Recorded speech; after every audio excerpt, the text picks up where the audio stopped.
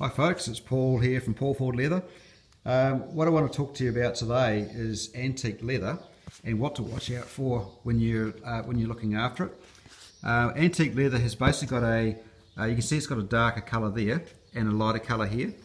So how it's made in the tannery, uh, they start off with a, a light coloured hide and then they have a what's called a print colour either rolled over or sprayed over the top, which is what's happened here. And as you, as you can see, it's all worn off. Now, uh, this is pretty typical of, of antique leather because uh, with wear and tear, that print colour is going to wear through and you're going to, going to see the base colour exposed. Now when cleaning antique leathers, what I've found is uh, that quite often the print colour is very, very unstable and the cleaners, leather cleaners will actually take that print colour off or move it around. In fact, even water, I've seen water uh, even take it off as well.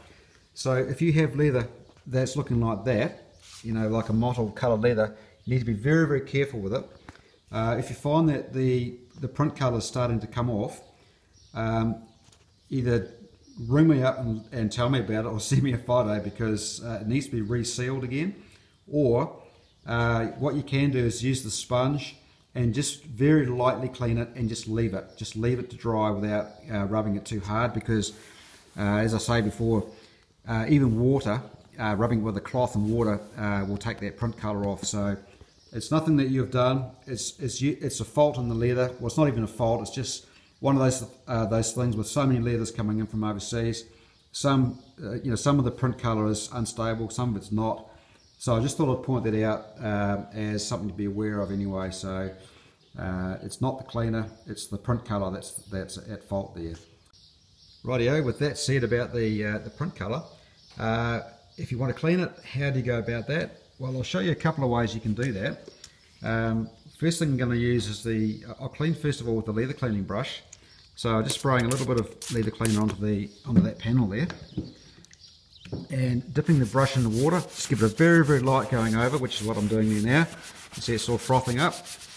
And wipe it away with a, a, a microfiber cloth. I'm just going to use a paper towel here just so you can see There's a slight amount of print colour coming off there, but it hasn't moved anything at this stage. So just wipe it off and leave it.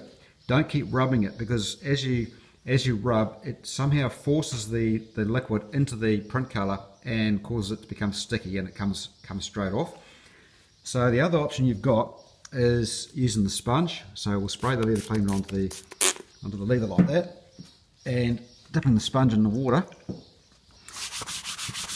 I'm just very, very lightly going over the top like that. And again, wiping it off with a um, with a microfiber cloth. I'm just using a paper towel just to check to see how stable that print colour is.